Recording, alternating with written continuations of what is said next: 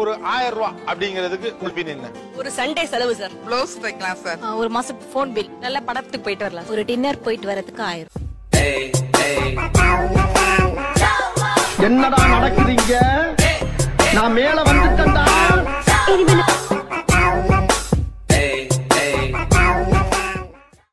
ஆயிரம் ரூபாயின் அருமை என்னவென்று உங்கள் மனைவிகளுக்கு சொல்லுங்க இந்த பணம் ஆயிரம் ரூபாய் சம்பாதிக்கிறதுக்கு ஐயாயிரம் தேங்க விற்கிறேன் என்னுடைய ஒரு நாள் உழைப்பு. எட்டு ஹவர் நம்ம மிஷின்ல நின்று வேலை செய்யற அந்த ஒரு நாள் கூலி தான் சார் அந்த ஆயிரம் ரூபாய்.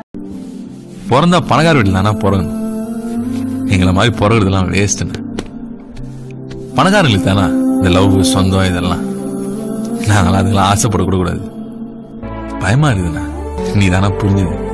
என் தகுதி என்ன? எங்கெங்கெல்லாம் உங்க வீட்ல காசு வேஸ்டா போகுதுன்னு நினைக்கிறீங்க? எந்த செலவு பார்க்கும்போது அநியாயத்துக்கு தேவையில்லாம வேஸ்ட் பண்றாங்க? துணிமணிகள். துணிமணிகள். Dress. ஆ. பிள்ளைங்களுக்கு ட்ரெஸ் எடுக்கிறது. அனாவசிய செலவுங்கிறது எங்க வீட்டுல அதிகமா அதுதான். ஒத்துக்கிட மனசு இல்லைனாலும் அதான் நேசம். ஃபுட் ஐட்டம் நிறைய போகுங்க சார். ஃபுட் ஐட்டம் நிறைய செலவாகும் வேஸ்ட் ஆகிட்டே இருக்கும். வேஸ்டேஜ் தான் சொல்லிட்டு இருக்கேன்.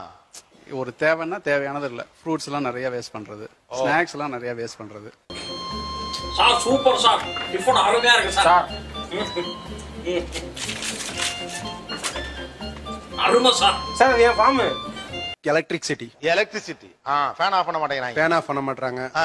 ஃப்ரிட்ஜை போட்டு வச்சுட்டு அப்படியே ஏதோ பண்ற திறந்து வச்சுட்டு பண்றது. ஆஹா. மத்த மாதிரி அந்த மாதிரி பண்றாங்க. ஓகே நான் அப்படியே ஷாக் ஆயிட்டேன். கேஸ் பாத்தீங்கன்னா வச்சுங்க டிவி சீரியல்ல போய் உட்காந்துருவாங்க இங்க பால் வாங்கி அது பாட்டு போயிட்டு இருக்கு சிலிண்டர் ஆக்சுவலா இந்த ஷோ கொஞ்சம் சீரியஸா பாருங்க. இதெல்லாமே டபக்குன்னு ஒய்ஃபை கிண்டல் பண்ணி அப்படின்லாம் இல்லாம. சிரிப்பு போலீஸா? ஏய் சீரியஸா பேசிக்கிட்டு இருக்கேன். சிரிப்பு போலீஸுங்கிற? ஏங்க எத்தனை தடவை டிவி டிவி பார்த்துட்டு இருந்தா பால் பொங்குச்சு? எத்தனை தடவை? என்னைக்கா ஒரு தடவை நடக்கும். உடனே எல்லா நேரமே டிவி சீரியல் பாக்குறதுனால பால் பொங்கிருச்சு. டிவி சீரியல் பாக்குறதுனால பால் பொங்கிருச்சு. சாமி நம்ம பார்த்த பேசுதே அடிக்கடி கால் டாக்ஸி வர வச்சு போறது sir. Call taxi call taxi two wheeler நம்ம டூ வீலர்லயே போலாம்னு சொல்லுவோம். நூறு ரூபால போக வேண்டியது எனக்கு நானூறு ரூபாய் செலவு ஆகிறப்போ எனக்கு அங்க ஒரு மாத பட்ஜெட்ல இடிக்கிற மாதிரி தெரியும். என்னது இது? காசு வேணவா? இரநூத்தம்பது ரூபா கொடுமா. எதுக்குடா அவ்வளோ டாவா? எவ்வளவு திமிரு இருந்தா டான்னுவ? போகும்போது செவன்டி ஃபைவ் வரும்போது செவன்டி ஃபைவ் ஒன் ஃபிஃப்டி தானே? நடுவுல கொரியர் சர்வீஸ் பண்ணிய அதுக்கெல்லாம் யார் காசு அதெல்லாம் நீ பேசாத. ஒன் ஃபிஃப்டி வாங்கிட்டு ஓடிப்போ ஆமா. உட்காந்து ரைட் லெஃப்ட் சொல்லிட்டு ஓடி போன்னு சொல்ற? ஏய் ஆட்டோக்காரன்டா நீ. அந்த வழியை நான் சொல்றேன் உனக்கு. நியாயமா சொல்றேன் இந்த ஹண்ட்ரட் ருபீஸ் வச்சுக்கோ. இதுவே ஜாஸ்தி போ. எதுக்கு இதை தர? நீயே வச்சுக்க வேண்டியதானே நான் காசே கொடுக்க மாட்டேன் போ. மா காயில சாவடிக்காத. காசு கொடுத்துட்டு போ.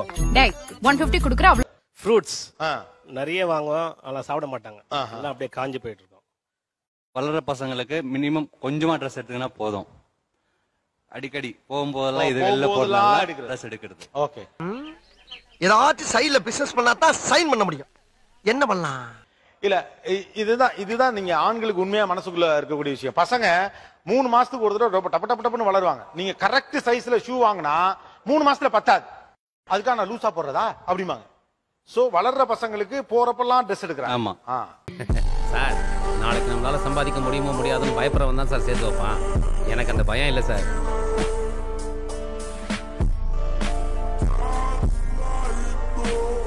சார் நான் ஸ்கூலுக்கு போகும்போது எங்க அப்பா எனக்கு ரெண்டு ரூபாய் கொடுப்பார் சார். இப்ப என் பையனுக்கு நூறு ரூபாய் செலவழிக்கிறாங்க ஸ்நாக்ஸுக்கு மட்டுமே. ஓ. இதோப்பா தலைவர் படத்துக்கு போனோம். ஃபைவ் ஹண்ட்ரட் இருந்தா கொடுங்க. என்ன கேட்ட? ஐநூறு ரூபா. அதுக்கு ஏன் ஆட்டோ டயரை நாய் மோந்து பாக்குற மாதிரி இவ்வளவு கிட்ட வந்து பாக்குற. அது இல்லாம எங்க வீட்டு கிராஸ் பண்ணோம்னா சரணா சோஸ் மாதிரி இருக்கும்.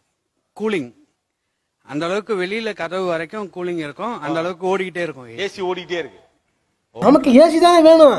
மேல இருந்து குடு குடு குடுன்னு ஏசி வரும். ஊரே சில்லுன்னு இருக்கும். நான் சுவிட்ச் எல்லாமே மாறிடலாம் நம்ம. இத கொண்டு போய் எப்படி சார் அதுல மாட்டுவீங்க? அதெல்லாம் மாட்ட முடியும் தம்பி. ஓடிட்டே இருக்கிறது ஆண்களுக்கு என்னமோ பெரும் எரிச்சலா தான் இருக்கு. காரணம் அதுல வேஸ்டா போகுதுன்னு. ஆதித்ய பிரலா தன்னுடைய சன்னை தன்னுடைய மகனை வெளிநாட்டுக்கு படிக்க அனுப்பினப்ப அவர் அவனுக்கு சொன்ன ஒரே விஷயம் இதுதான். உங்களுடைய அறையை விட்டு நீ வெளியில போகும்போது ஃபேன் சுவிட்ச் ஆஃப் பண்ணிடும் அவங்க அப்பா சொல்லி கொடுத்த இது ஒரு பெரிய விஷயமான்னு தோணலாம் ஆனா அதை ஒட்டி தான் அவ்வளவுமே இருக்கு. அந்த ஒழுங்குங்கிறதும் மிச்சம்ங்கிறது ஏன்னா பிசினஸ்ங்கிறது அதான் வாட் யூ சேவ் தேர் அப்படிங்கிறது. அதனாலதான் ஆண்கள் நிறைய பேர் இந்த ஃபேன் ஆஃப் பண்ணலாம் இரிட்டேட் ஆகுறாங்கன்னு நினைக்கிறேன். பெரிய ஸ்டோர் போறப்ப நான் வந்து லிஸ்ட் போட்டு போலான்னு சொல்லுவேன். அது வந்து அங்கே போயிட்டு விண்டோ ஷாப்பிங் மாதிரி பண்ணிட்டு நம்ம எவ்வளவு பட்ஜெட் போட்டு போறோமோ அதுல இருந்து ஒரு நாலு மடங்கு ஜாஸ்தி வாங்குற மாதிரி இருக்கும். எலக்ட்ரானிக் ஐட்டம்ஸ் சார் நிறைய வந்து யூஸ் பண்ணவே மாட்டோம். ஆனா நிறைய இருக்கும். அது வாங்கணுன்ற ஆர்வத்துல வாங்கிடுவோம். ஆனா நிறைய வந்து வேஸ்டாவே இருக்கும். அப்புறம் பாத்தீங்கன்னா லேடிஸ் வந்து இந்த பித்தளை சாமான்கள் சில்வர் சாமான்கள் பிளாஸ்டிக் ஐட்டம்ஸ் நிறைய கடையில இருக்கிற அளவுக்கு வீட்டுல இருக்கும். கட்டில் கடியில இருக்கும் மேல இருக்கும் எல்லா இடத்துலயும் இருக்கும். ஐயோ ஒரு பைத்தியக்கார பைலட் அந்த மாட்டிக்கிட்டு படுற பாடு. ஏய் என்னைய வச்சு ஒன்னும் காமெடி கிமெடி பண்ணலையே. ஆனா எதுவுமே நம்ம யூஸ் பண்ண போறது இல்ல. நாளடைவுல பின்னாடி பார்த்துப்போம். புது வீட்டுக்கு போனா பார்த்துப்போம் அப்படின்ற மாதிரி அது நிறைய ஸ்டோரேஜ் ஆயிருக்கும். இன்னொன்னு ப்ரௌசிங் இன்டர்நெட் அதனுடைய சார்ஜஸும் அதிகம் மந்த்லி ஓகே எல்லாமே புதுசா சொன்னீங்க சார். இப்ப பிளாஸ்டிக் ஜாமான்கள் அதிகம். உண்மைதான். ஏன்னா ரெண்டுமே ஒரே சம்பவம் தானே? அதையும் பிரிக்கிறீங்க சரி, சரி பிரிச்சுக்குங்க. ஆனா இது புதுசா இருக்குண்ணே. புதுசா. அப்புறம் பாத்துக்கலாம் எதையெல்லாம் தள்ளி போடுறாங்க ரொம்ப சில்லற செலவு தான் சார். நாங்க வீடு மாத்தி இப்ப ரெண்டு மா- ரெண்டு வருஷம் ஆகுது. ஒரு பிளம்பர் கூட்டிட்டு வந்து இந்த வாட்ச் கிளாக் மாட்டுறதுக்கு நான் ஆணி அடிக்கல. ஒரு ஷெல்ஃப்ல வச்சிருக்கேன். ரெண்டு வருஷமா? ரெண்டு வருஷம் ஆகுது. கட்ட குறைக்கு கட்டம் சரியில்லை. நம்ம கூட விளையாடுறதே அவனுக்கு வேலையா போச்சுடா. இப்போ ஒரு சிலிண்டர் வாங்கணும் அப்படின்னா இந்த டேட் கரெக்டா வந்துருவாங்க. அன்னைக்கு தேவைப்படும். எனக்கு பைசா கொடுங்க எனக்கு சிலிண்டர் வந்துருமா அப்படின்னு நான் சொல்லுவேன் சரி தரேன் அப்படின்னு சொல்லுவாங்க. லாஸ்ட் வரைக்கும் பைக் கிட்ட போற வரைக்குமே தர மாட்டாங்க ஏய் என்னைய வச்சு ஒன்னும் காமெடி கிமெடி பண்ணலையே. ஓகே ரிமோட்ல பேட்டரி தீந்து போயிருக்கும். அது வந்து ஆ சேஞ்ச் பண்ணலாம். சேஞ்ச் பண்ணலாம்னு சொல்லிட்டு இருப்பேன் நம்ம சொல்லி சொல்லி சலிச்சிருவோம். பட் சேஞ்ச் பண்ணலாம் சேஞ்ச் பண்ணலாம்னு சொல்லிட்டே இருப்பாங்க மிஸ்ஹேண்ட்லிங் ஆஃப் அசெட்ஸ் ஓகே ஒரு அசிங்கமாய் போச்சு குமார். ஐயோ. ரிப்பேர்ல அவரே வந்து மேக்சிமம் வந்து வெளிய ஆளை கூட்டு வர மாட்டாங்க. அவங்களே மேக்சிமம் செய்யறதுக்கு ட்ரை பண்ணுவாங்க. அது இன்னும்? பேடாகும் ஆகும் இன்னும் பேடாகும் ஆகலாம். ஒருவேளை சம்டைம் ஃப்ளூக்ல சரியாகும் ஆகும். ஃப்ளூக்ல ஆமா. ஃப்ளூக்ல சரியாகும் ஆகும். அந்த மாதிரி டிவி வந்து சரியா ஆயிருக்குது. ஏய் எப்படி? யாருக்கிட்ட? எங்க கிட்டயா சண்டை முன்ன பின்னாலும் சவுண்ட் ஜாஸ்தியா இருக்கும்டா.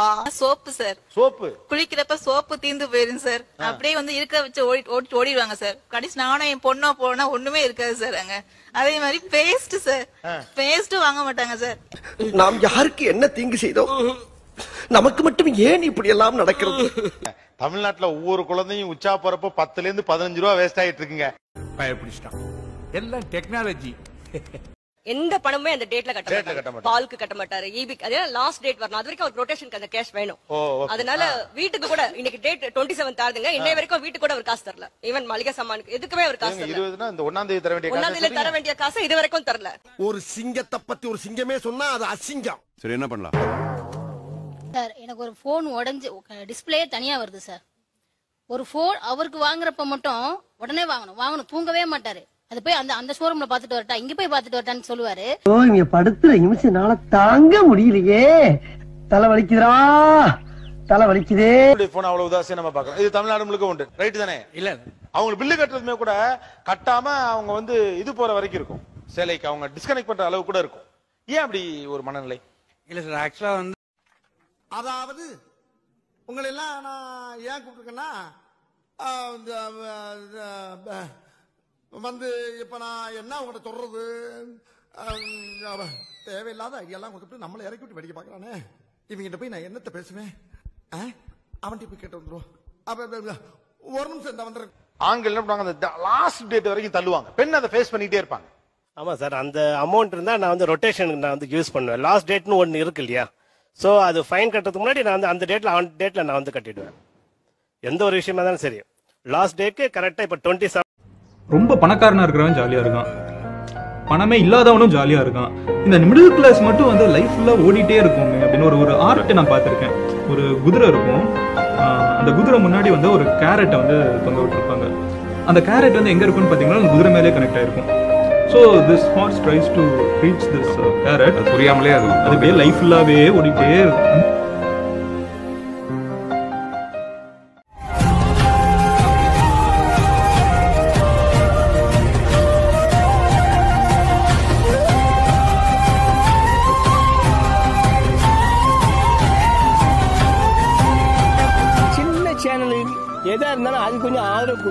உங்க பொண்ணான கையை கொண்டு அந்த பெண்ணில தட்டிடுங்க அவங்களுக்கு சப்ஸ்கிரைபர் அஞ்சு பத்து ஏறுனா அவங்க மனசு சந்தோஷப்படும்.